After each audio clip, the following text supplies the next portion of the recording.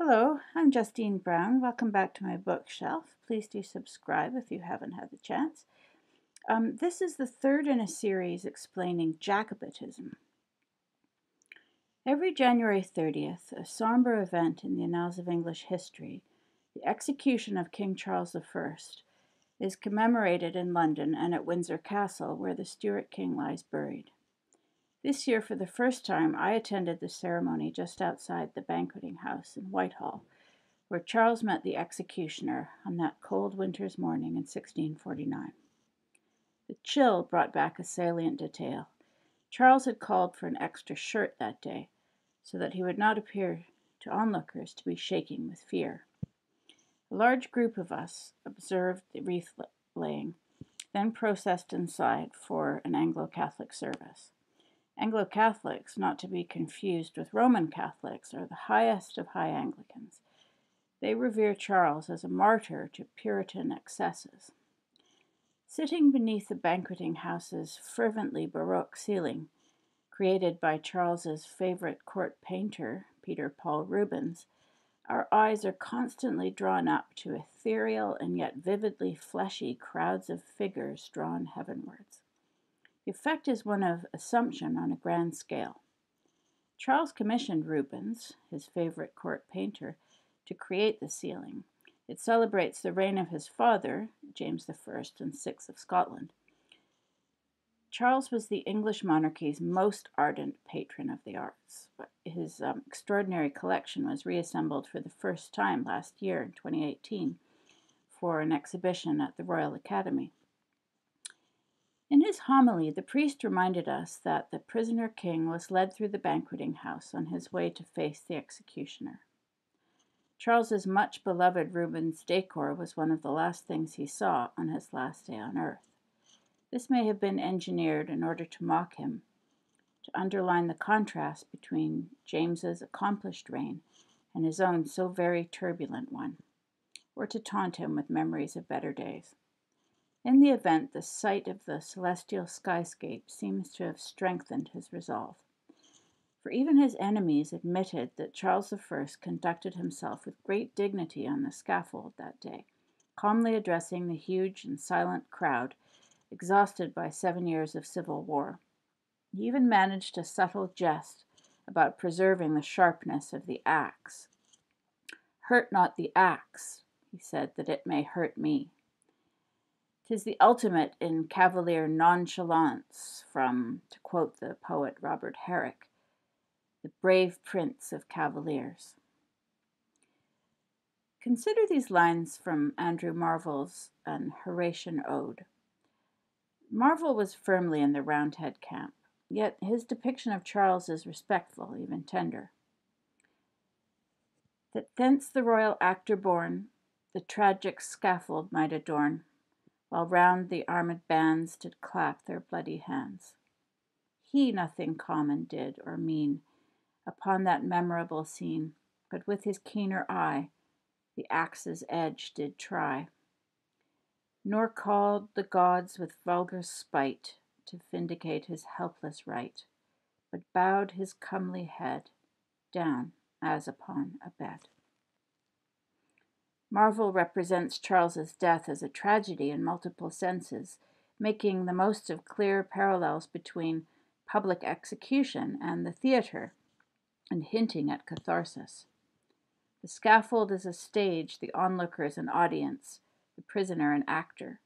The king plays his role with restraint, but the bloody hands remind us that this is no fiction tried and convicted by the Rump Parliament of having made war against that institution, which, they claimed, amounted to a war on the people, Charles was an early casualty of the nascent modern structure, as Mencius Moldbug terms it. Unlike the later kings of England, Charles Stuart was unwilling to accept the successive transfers of power that Whig history decrees. It is difficult to overstate the shock that the execution of Charles I produced in England and in the rest of Europe.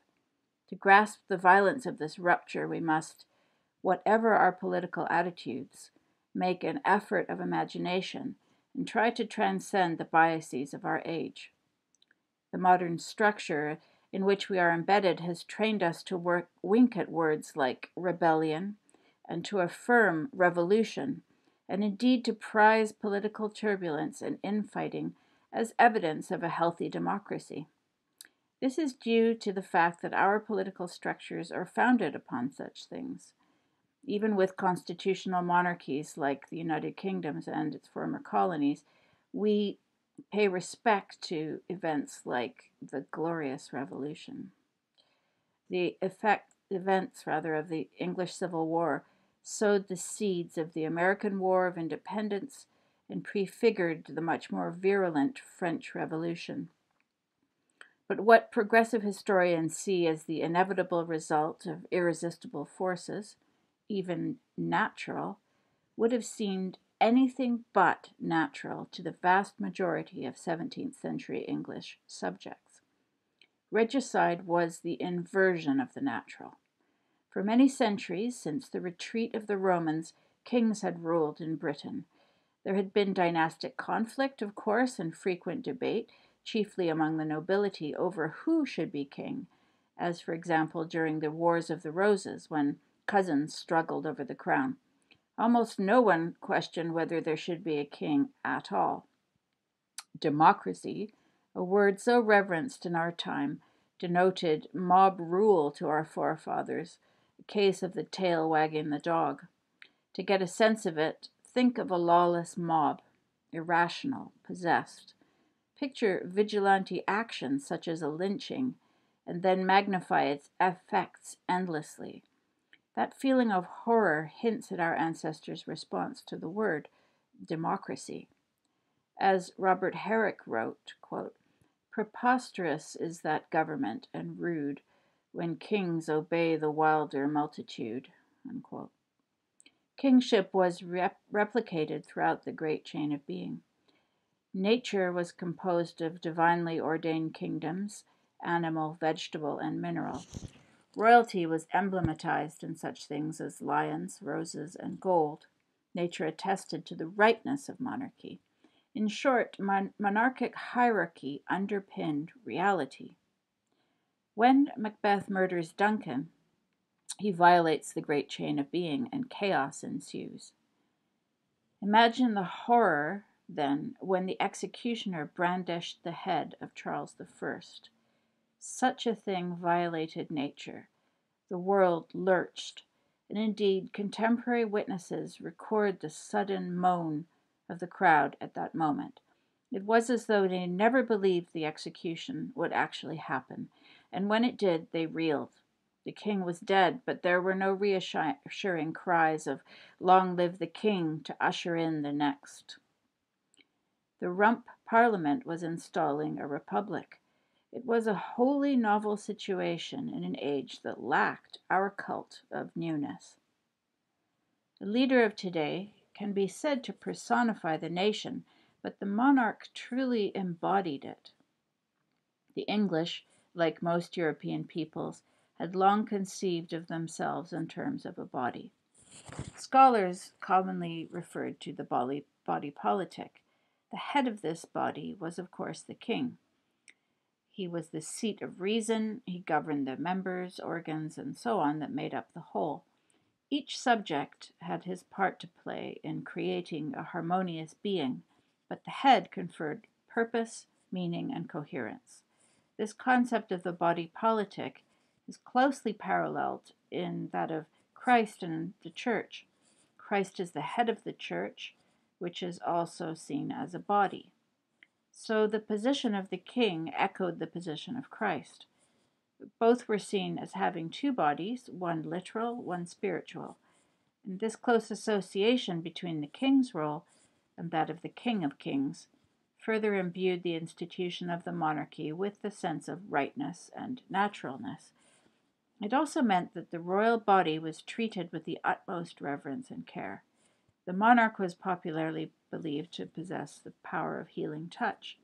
For one thing, the closer one was to the bod- royal body, the more of an honor it was. The most intimate with the royal incarnation had incredible prestige, it was anything but low status to wash the king's person. These intimate roles were filled by some of the highest ranking people in the realm. To wait on the king or queen was the most exalted servitude imaginable. Given these deeply imbued ideas about the royal body and kingship generally, we may wonder what on earth had changed to permit this faction of officials to lay hands on King Charles, prison, try, and ultimately execute him, despite the lack of widespread support for these actions. In many respects, Charles had the preceding dynasty, the Tudors, to thank for his misfortune. In the first place, Henry VIII had, through the dissolution of the monasteries and reassignment of the properties, created a new class of political players. This new class were profoundly incentivized to support the Reformation and to resist any hint of a reversal. It was one reason that they supported the intensifying effort to purify the Anglican Church of any residual Roman Catholicism, hence Puritans. Henry VIII had traded land for loyalty to his radical new policy. In this way, he seeded England with Protestantism. Only landowners could become MPs, so providing them with land, Henry made it possible for them to wield political power. Over a century following Henry's reign, Parliament had become a much more powerful institution. Religious policy continued to have practical political consequences. One of the sources of the royalist parliamentarian conflict stemmed from the fact that Charles's Archbishop, William Laud, had expressed an interest in recovering monastic lands, this time in the name of the Anglican Church. This prospect, of course, threatened those whose families had benefited from the dissolution. Acquiring land had given them the motivation and the means to resist any threat to their status. And of course, each of these individuals existed within a complex web of obligation and loyalty involving family members, tenants, their dependents, and so on. And now we begin to grasp how entrenched the division had become. The most charitable interpretation of Henry VIII's break with Rome is that he forced his remarriage to Anne Boleyn through in order to beget a legitimate male heir and so prevent another Wars of the Roses. Henry was trying to make them loyal to his project and to him personally. Ironically, the descendants of these men rose up against the monarchy.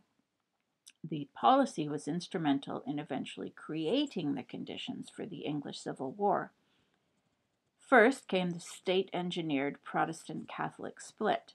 The old religion, which had been practiced in the British Isles for a millennium, was cleverly rebranded as foreign. Then Protestantism came apart.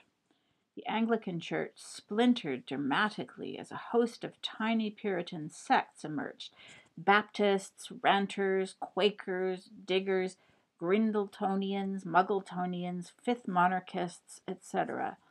And not only was there a disastrous civil war, but the crown itself was abolished for 11 years and never fully recovered from this blow. Charles's execution was Puritan iconoclasm taken to the next stage. Another Tudor policy which made Charles's execution thinkable was the example Elizabeth had set in putting his grandmother Mary Queen of Scots, to death in 1567. As I discussed in previous video, Elizabeth I signed her cousin's death warrant because she could no longer afford the presence in England of a rival queen with an arguably better claim to the throne, someone around whom Catholics could continue to rally. Mary had been the focus of more than one plot to replace Elizabeth, this time it appeared that the Queen of Scots herself had been directly involved. The danger was palpable. However, Elizabeth hesitated to go through with the execution despite the prodding of her advisers. Either she kept Mary alive and risked being assassinated, or she executed a fellow queen and thereby made it easier to conceive of regicide. And this is precisely what happened when She eventually followed through with Mary's sentence. The execution of Mary, Queen of Scots, contributed to the desacralization of the royal body. Elizabeth made monarchs everywhere more vulnerable. She had cheapened their lives, her own as well, and she knew it.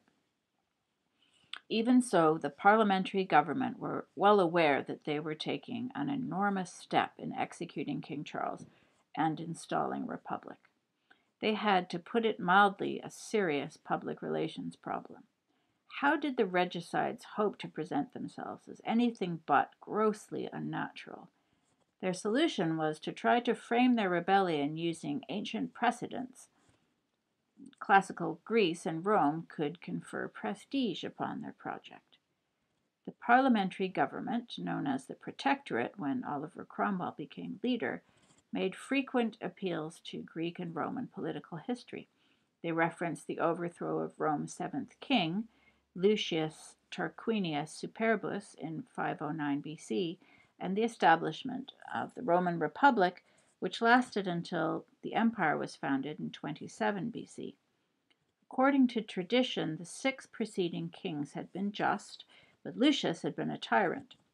Tyranny, the Republicans argued, justified popular uprising, and this is how they wished to present their coup d'etat as a popular uprising against tyranny. They redefined regicide as tyrannicide. The object was to cast a small minority which had seized power, the rump, as the people. Rhetorical support poured forth from the poet John Milton, one of the Republic's most dedicated defenders. When the noted humanist Claude Salmasius published a powerful denunciation of the king killers, Milton fought back with the tract Defense of the English People. Even with the title, Milton is begging the question. He identifies the rump parliament with the English people, despite the fact that they had purged not only the royalists, but anyone who had misgivings about executing the king to whom they had all pledged loyalty. Mencius Moldbug draws our attention to these lines from Charles's final speech. And I quote, For the people, and I truly desire their liberty and their freedom as much as anybody whomsoever. But I must tell you that their liberty and their freedom consists in having of government those laws by which their life and their goods may most be their own. Unquote. So, this then was Charles's conviction that monarchy had to secure order, life, and property before the people could thrive. Security preceded liberty. Charles prized harmony above all else. Tragically, his reign was discordant in the extreme. Charles was dead and buried in St. George's Chapel. The idea of watering the seedling republic with Charles's blood was not a success. The sheer weirdness of the Republican period deserves a video of its own. In any case, it couldn't survive the death of Oliver Cromwell in 1658, and in 1660 the monarchy had been restored under Charles II. Although the reunion of the English people with their king was joyous, it was clear that kingship had been renegotiated for the modern structure. Charles II could scarcely forget what had happened to his father. No ruler could. The frivolity that characterized his reign was calculated to outrage the Puritans who had supported the regicides, that is, those who survived. As a boy, Charles II had fought by his father's side in the wars. As a young man, he had escaped to the continent, where his younger brother, James, was living in safety with his mother and sisters, only to hear the bitter news of their father's death. I go from a corruptible to an incorruptible crown, Charles had said in his final speech. But the story of the star-crossed Stuart dynasty had only just begun. Thank you for listening. I hope you enjoyed it. Please do like uh, if you did, and um, I look forward to hearing your comments below.